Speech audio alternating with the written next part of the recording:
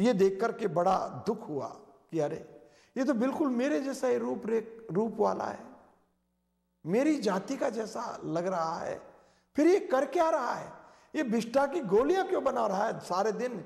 ये गंदी चीज़ को क्यों मुँह में ले लेके इसी को खाता है, इसी को गोली बनाता है, इसी को बिलों में जमा करता है? उसको बड़ी दया आई। बड़ी दया आई तो नीचे उतरा और उसको राम राम किया। कि भैया राम राम। तमोगुणी जीव है भौरा नीचे जो जो नीचे काम में लगा हुआ था विष्ठा की गोलियाँ बनाने। एनीवे anyway, उसने पूछा कि क्या काम है? क्यों राम राम कर रहे हो? कोई ज़रूर स्वार्थ होगा तुम्हारा। बोलो नहीं ये बात नहीं है। तू मेरा जाति बिरादरी का भाई जैसा है। तू भी भौरा ही है। मैं भी भौरा हूँ। चल तुम एक दिन मेरे मेरा अतिथि बन जा, मेरे साथ चल। काफ़ी प्रार्थना की। तो ये विष्टा का भौरा मान गया कि कितनी दूर जाना पड़ेगा? अरे, ज़्यादा दूर नहीं। थोड़ा उड़ान भरेंगे, पहुँच जाएँगे। मेरा अतिथि बने एक दिन। तो मान गया ये विष्टा का भौरा। और दोनों भौरे उड़ने लगे, रानी के बाग की ओर जाने लगे। तो रास्ते में ये विष्टा का भौरा बोलता है कि जरा तुम यहीं ठहरो, मैं कोई आइटम भूल गया लाना, मैं लेके आता हूँ। तो बाघ के भौरे ने कहा कि ठीक है, मैं यहाँ बैठता हूँ, तुम जल्दी आना। बोला हाँ मैं अभी आया। तो ये बिष्टा का भौरा वापस आया अपने बिल में और कोई आइटम भूल गया उसको लेके, उड़, वापस चल, पहुँच गया। दोनों उड़ के और रानी के बाग में पहुँचे। तो रानी के बाग का जो भौरा था, वो इस बिष्टा के भौरे को फूलों पर बिठाता है। कभी गुलाब के फूल पर बिठाता है और पूछता है कि खुशबू आई? तो बिष्टा का भौरा बोलता है कि नहीं, मुझे कोई खुशबू नहीं आती। अच्छा तो मोगरा, चंपा जूही, कमल तरह तरह के फूलों पर बिठाता है और हर फूल पर जाकर पूछता है, खुशबू आई? लेकिन एक बिष्टा का भौरा को तो खुशबू नहीं आती। ये बोलता, मुझे नहीं आई। तो बाघों का भौरा, रानी का बाघ का भौरा बहुत चिंता में डूबा कि इसको खुशबू क्यों नहीं आती है? सारा बाग विभिन्न नाना प्रकार की खुशबुओं से महक रहा है और इसको बार बार जगह जगह फूलों पर ले जाता हूँ। खुशबू क्यों नहीं आती? कारण क्या? आखिर चिंतन करने के बाद में बागों वाला भौरा बोला कि, मेरे भाई, जरा तुम्हारा मुँह खोलो तो। तो बिष्टा के भौरे ने मुँह खोला। तो तो बिष्टा की गोली बना के मुँह में रख के लाया। उसी के लिए तो वापस गया था रस्ते में से। तो बाघों का भौरा बोलता है फिर इसको खुशबू कैसे आएगी? जिस व्यक्ति ने मुँह में बिष्टा की गोली रख रखी है, उसको खुशबू कैसे आएगी? तो उसने कहा, अरे रे रे, आओ मेरे साथ आओ। तो जब पानी का स्थान था बाग के अंदर पानी का तालाब सरोवर था, उसके किनारे ले गया और कहा कि, इसको थूको गोली को। मेरे कहने से थूक दो या खाने पीने की कोई कमी नहीं है। आप इस चिंता में गोली रख के लाए कि पता नहीं बागों में कुछ खाने को मिलेगा कि नहीं। अरे, यहाँ तो आपको सब कुछ मिलेगा। नाना व्यंजन मिलेंगे। पहले तुम इस बिष्ठा की गोली को तो थूको। तो थूक दिया कैसे भी करके बुरे मन से और कहा कि मुँह भी धो लो जरा। तो मुँह भी धोया, स्नान कराया तालाब में। फिर उसको, फिर तो बिना फूलों पे ले जाए कहने लगा, अरे, तुम्हारा तो ये बाग बहुत महकता है। अरे रे, मेरे सारे नासा फुट भर गए। खुशबू ही खुशबू, जिधर देखो उधर। ये तुम तो बड़े आनंद में रहने वाले। बोला हाँ मेरे भाई, इसीलिए मैं तुमको लाया। तुम आज से विष्ठा की गोलियाँ बनाना बंद कर दो। तुम बिल्कुल मेरी जात के हो। तुम भी भौरे मैं भी भौरा अरे तुम मेरे साथ यहाँ रहो। मुझे एक मित्र की आवश्यकता भी है बातचीत करने के लिए। उस दिन से वो भौरा बाघों के भौरे के साथ रहने लगा और आनंद लेने लगा। इसलिए सत्संग या साधु संग मिलता नहीं। कोई गीता भागवत की कथा सुनने को मिलती नहीं। मिलते हैं सिर्फ़ टीवी के मनोरंजन कार्यक्रम और तरह तरह के जो प्रचार के लिए दिए जाते हैं। इश्तिहार, कॉलगेट कॉलगेट और हमाम साबुन वाट एवर उनको ही देखने लगे रहते हैं। संसार की सा, सब प्रकार की निंदा स्तुति में, मैं मेरे में, इन्हीं में जीवन चला जाता है। तो फिर कैसे मनुष्य अपने आप को पहचाने और कैसे धर्म को पहचाने, कैसे भगवान को पहचाने, कैसे भगवान की सत्ता को पहचाने? भगवान कहते हैं, अनंत को मैं सृजन करता हूँ, मेरी सृष्टि है फिर भी मैं इससे अलग हूँ। देखो मेरी योग शक्ति, अर्जुन। भगवान अभी अपनी योग शक्ति को दिखला रहे हैं कि मैं कौन हूँ, अर्जुन? जरा मुझे पहचान। अर्जुन तो भगवान को पहचानते हैं। तब तो उनके मित्र बने हुए हैं, अंतरंग सखा। लेकिन हम सब अर्जुन आत्मा, अर्जुन रूपी आत्माएँ, जो इस मन के चक्कर में पड़ के संसार के भोगों में उतरे हुए हैं। काम, क्रोध मदमोह मत्सर इत्यादि शत्रुओं से घिरे हुए हैं। उनके लिए उपदेश करना अत्यंत आवश्यक हो गया है अर्जुन के माध्यम से, उनके कल्याण के लिए। इसलिए भगवान कहते हैं कि अर्जुन, तू मेरा योग शक्ति को तो देख। योगेश्वरम, योग का ऐश्वर्य तो देख। मैं तमाम सृष्टि का सृष्टि करता हूँ, फिर भी मैं इस सृष्टि से अलग हूँ।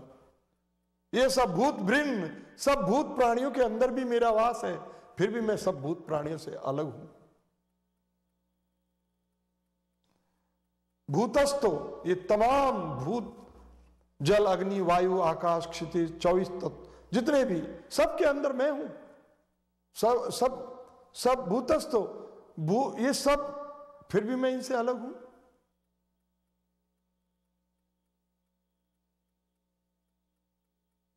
मम भूत भावना।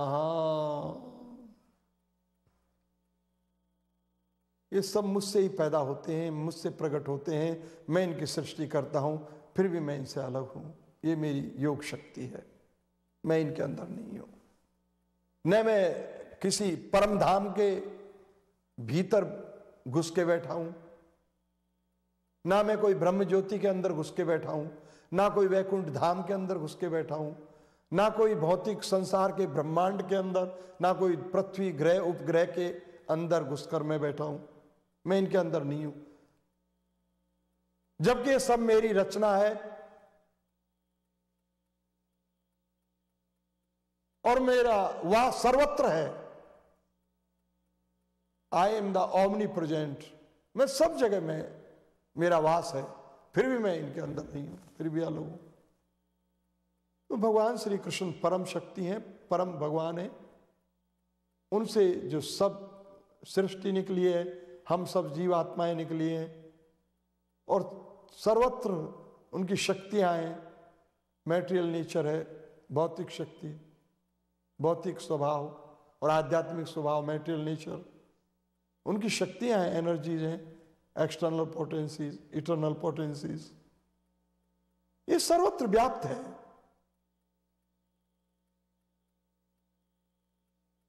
और सब जगह भगवान की प्रेजेंस है उनके माध्यम से। लेकिन वो अपनी परम स्थान पर है, परम भक्त, शुद्ध भक्तों के आगोश आलिंगन में है, उनके साथ रहते हैं। उनकी बहुत सिंपल, सुंदर, दिव्य लीलाएँ हैं, जिनको जानने के लिए हृदय का शुद्ध होना बहुत ज़रूरी है। अपने परम धाम में भी भगवान श्री कृष्ण परम वेश में, गोपाल स्वरूप में रहते हैं, ग्वाले के रूप में, और नित्य ही दिव्य गायों का गोचार, गायों को चराने जाते हैं, सुंदर हरियाली में, हरे घास में और ग्वालों के साथ में अपने शुद्ध भक्तों के से घिरे हुए रहते हैं।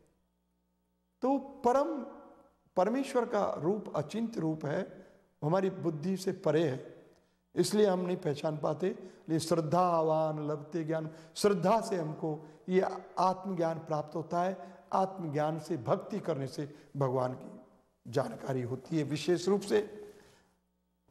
भक्त्या माम अभिजानाति यावन्यश्चास्मी तत्वता ततो माम तत्व तो ज्ञातवा विश्वते तदनंतरम वही मेरे धाम का धाम में प्रवेश करने का अधिकारी बनता है, जो भक्ति करता है। भक्ति से मुझे पहचान सकता है। भक्ति से ही श्रद्धा उदय होती है। भगवान की सेवा करने से श्रद्धा उदय होती है। बिना सेवा श्रद्धा उदय नहीं होती। श्रद्धा के बिना भक्ति तो कैसे होगी? श्रद्धा के बिना भगवान से प्रेम कैसे होगा?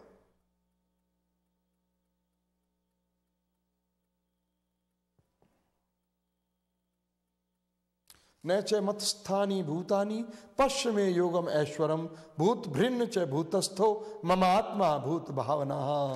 ये तमाम सृष्टि में जितने भी अंश हैं, ये सब मेरे से, मेरे अंश हैं।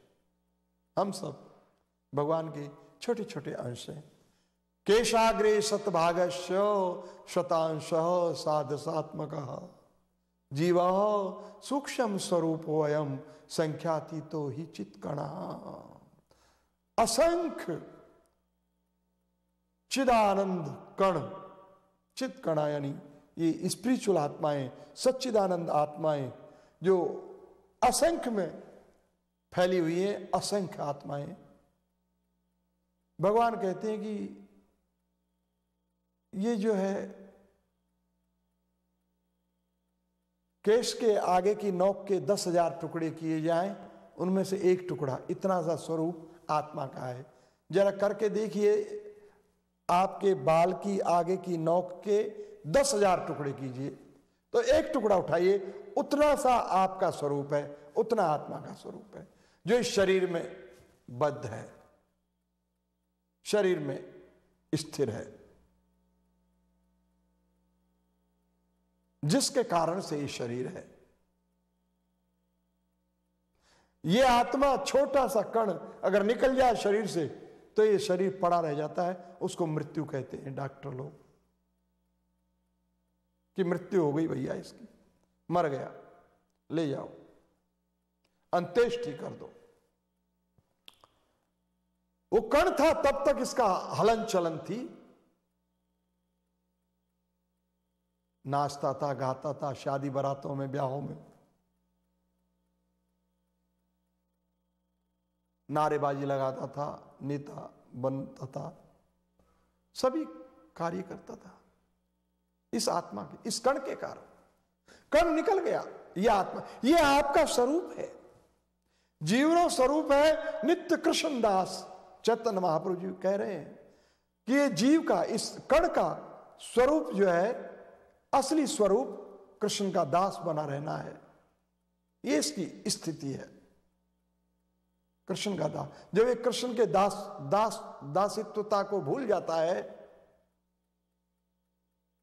दासता को भूल जाता है, तब जाके ये दुखों में उतरता है, उस आनंद को छोड़ करके, उस परमानंद को छोड़ करके।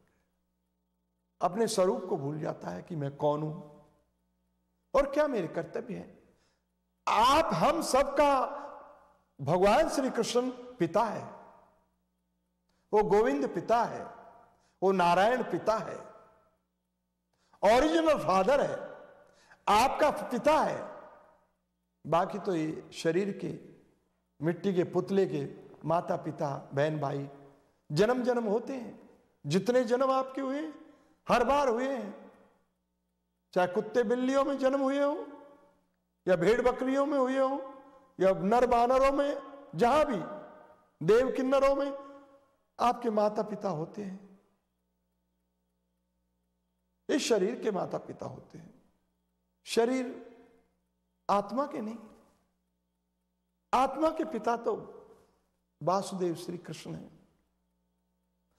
तो उस असली पिता को भूल करके हम कैसे सुखी हो सकते हैं? नहीं, उनको प्रसन्न करके ही हम सुखी हो सकते हैं। उनकी ओर चल के ही हम सुखी हो सकते हैं। उनको पहचान के ही जीवन यापन करना चाहिए। यह अपना स्वरूप पहचानना है। जीवरो स्वरूप है। नित्य कृष्ण दास। ये नहीं कल हम दास थे, आज नहीं रहेंगे। नहीं, नित्य। सतत। ये भक्ति, भगवान की भक्ति की ओर पहला चरण है, कदम है, कदम बढ़ाना है कि भगवान को पहचान जाना और अपनी, अपने आप को पहचान जाना।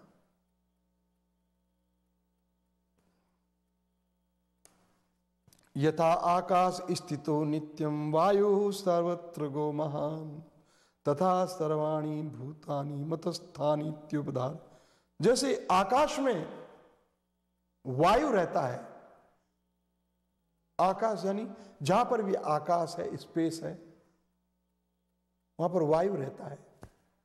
वायु देवता। विंड तो ये आकाश तो बहुत विस्तार में है। ये मेटेरियल वर्ल्ड का आकाश बहुत विस्तार में है, जिस आकाश में अनंत ब्रह्मांड है। विजिबल फॉर्म्स हैं सृष्टि है भगवान की। ये आकाश के अंदर। आकाश भी सृष्टि का ही पार्ट है। लेकिन आकाश सूक्ष्म तत्व है, आँखों से नहीं दिखता। लेकिन स्थूल तत्व इसके अंदर लटके हुए हैं। भगवान कहते हैं, जैसे आकाश में वायु रहती है, अग्नि रहती है जल रहता है, अर्थ पृथ्वी रहती है। आकाश में तो ये दूसरे चार तत्व विराजमान है। कहिए कि चौबीस तत्व आकाश में ही विराजमान है। लग तो ऐसा ही रहा है। भगवान कहते हैं, जैसे आकाश में वायु रहती है, ऐसे ये तमाम अनंत ब्रह्मांड, वैकुंठ जगत आध्यात्मिक जगत और भौतिक जगत तमाम अनंत, ये मेरे अंदर है।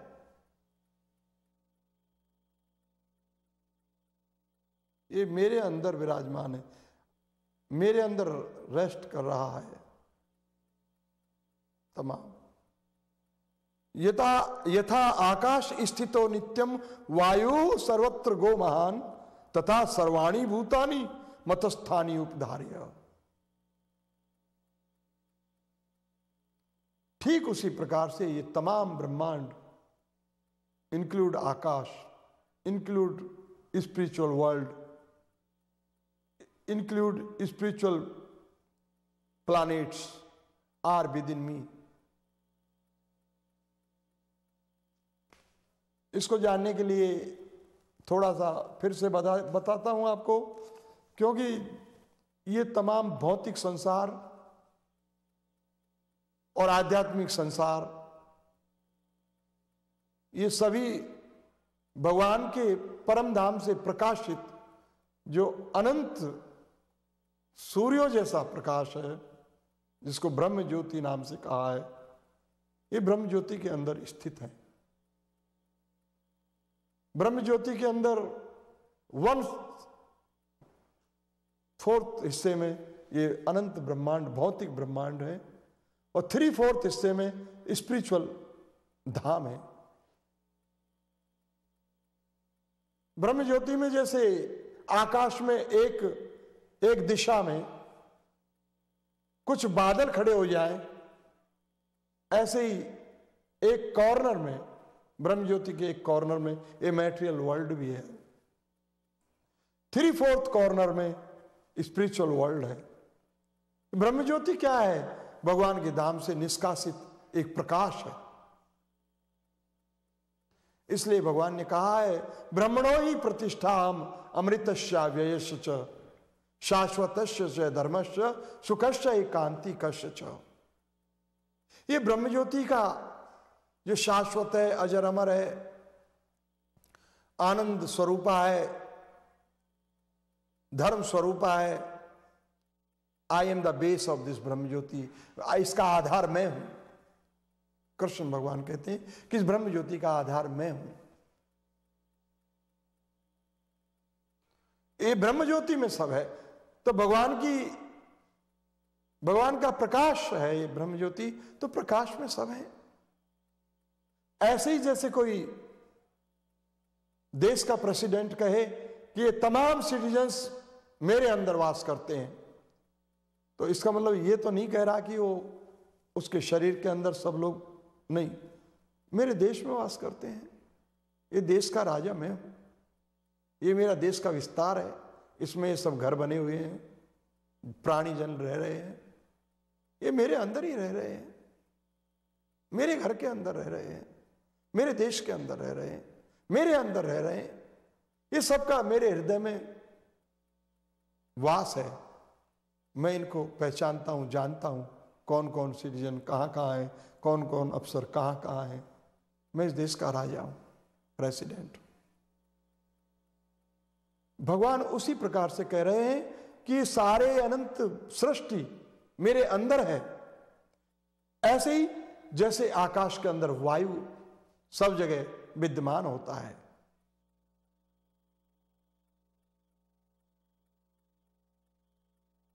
इसके आगे के श्लोकों में जब हम चलते हैं तो इसका ज़्यादा स्पष्टता से पता चलता है। भगवान कह रहे हैं कि सर्वभूतानी कौन तेयो प्रकृति यान्ति मामिका मामिकाम कल्पक्षय पुनस्तानी कल्पादो विसृजाम्य हम सर्वभूतानी कौनते प्रकृति में आंति मामिका कल्प क्षय पुनस्तानी कल्पादो विसृजाम्य हम कल्प यहाँ पर कहा है? प्रलय का। महाप्रलय का जब कल्प आता है तो तमाम ब्रह्मांड, भगवान कहते हैं कि मेरी प्रकृति को प्राप्त हो जाते हैं। भगवान की प्रकृति क्या है? भगवान का स्वभाव क्या है? प्रकृति यानी स्वभाव। भगवान का स्वभाव क्या है? स्पिरिचुअल, आध्यात्मिक स्वभाव। तो महाप्रलय में जो ये अनंत ब्रह्मांड चले जाते हैं, अति सूक्ष्म रूप में ये अपनी मूल प्रकृति में चले जाते हैं और मूल प्रकृति स्पिरिचुअल है, आध्यात्मिक है, शाश्वत है, जिसमें कभी बदलाव नहीं आता। भौतिक प्रकृति में बदलाव आता है, भौतिक स्वभाव में बदलाव है, आध्यात्मिक स्वभाव में बदलाव नहीं है।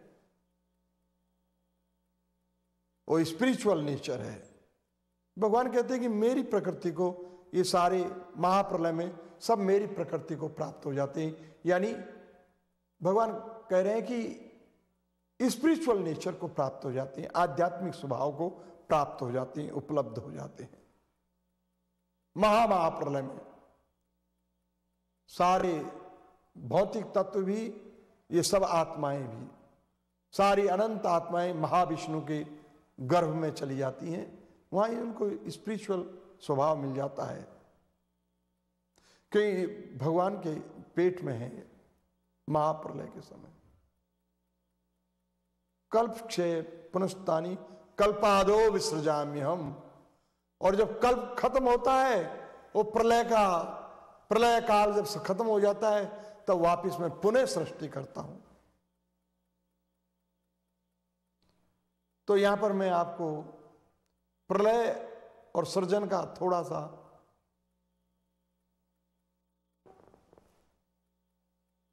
अनुभव देता हूँ।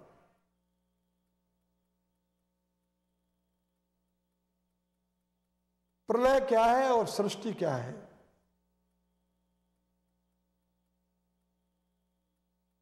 मूल प्रकृति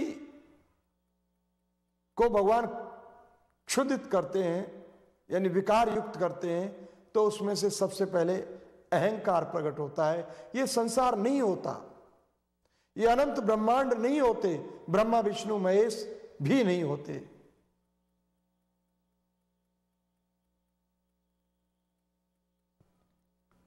भगवान श्री कृष्ण गीता में आगे चलकर कहेंगे इस बात को कि जब मैं इस मूल प्रकृति को गर्भवती करता हूँ विकार युक्त करता हूँ, तब इसमें से अहंकार पहले प्रकट होता है। ये अहंकार तीन जगह विभाजित होता है, जिनसे इसका नाम तीन तरह से जाना जाता है। तमोगुणी अहंकार, रजोगुणी अहंकार, सतोगुणी अहंकार। अहंकार में विकार हो जाने से ये तीन जगह डिवाइड हो जाता है। तमोगुणी, सतोगुणी, रजोगुणी। तमोगुणी अहंकार से निकलते हैं पंच महाभूत पृथ्वी, जल, अग्नि, वायु, आकाश। रजोगुणी अहंकार से निकलती हैं इंद्रियाँ, दसों इंद्रियाँ जो हमारे शरीर में है, तमाम ब्रह्मांडों में है। ये कॉस्मोस लेवल पर बातें हैं। ये रजोगुणी अहंकार से प्रकट होती हैं हमारी दसों इंद्रियाँ। और बुद्धि सतोगुणी स्वभाव अहंकार से प्रकट होता है मन। इस प्रकार से ये मूल अहंकार जो प्रथम निकला है मूल प्रकृति से, ये चौबीस तत्वों में विभाजित होता है। चौबीस तत्वों में हमारी दस इंद्रियाँ हैं और पाँच ज्ञानेन्द्रियाँ, पाँच कर्मेंद्रिया, दस इंद्रिया हो गई। पाँच ज्ञानेन्द्रियों के अधिष्ठात्री देवता हैं, रस, रूप, गंध इत्यादि। पंद्रह, अहंकार, मन, बुद्धि है पंद्रह और तीन अठारह। और पंच महाभूत अठारह और पाँच तेवीस। और चौबीसवें नंबर पर है स्वभाव नेचर। मूल नेचर, मूल प्रकृति। मूल नेचर ओरिजिनल नेचर।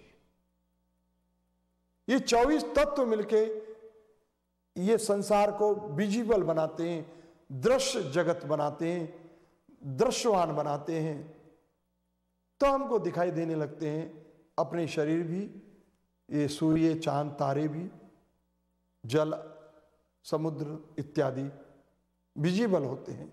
ये यूनिवर्स विजिबल होता है चौबीस तत्वों की मिलन से। ये सब उस मूल अहंकार से प्रकट होते हैं। सृष्टि इस प्रकार से नीचे उतरती है। आकाश विकार युक्त होता है तो वायु रूप में परिणित होता है। वायु विकार युक्त होती है तो अग्नि रूप में परिणित होती है। अग्नि में विकार आता है तो जल रूप से परिणित होती है। और जल में विकार आता है तो पृथ्वी रूप से परिणित होता है, बदलता है। इस प्रकार से सृष्टि नीचे उतरती है। ब्रह्मा जी चौरासी लाख योनियों की रचना करते हैं। चौरासी लाख योनि, ये ब्रह्मा जी की रचना है। विश्वकर्मा जी भी उनके साथ बड़े इंजीनियर हैं। ये परमात्मा के सब नौकर हैं। सर्वेंट, दासानु दासानु दास हैं।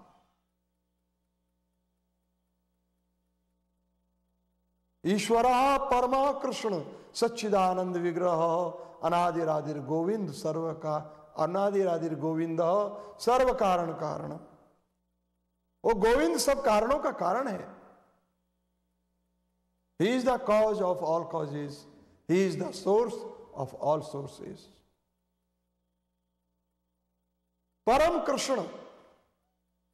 वही परमेश्वर है, परम आकर्षण है उनके अंदर। अनादिरादिर गोविंद सर्व कारण कारण।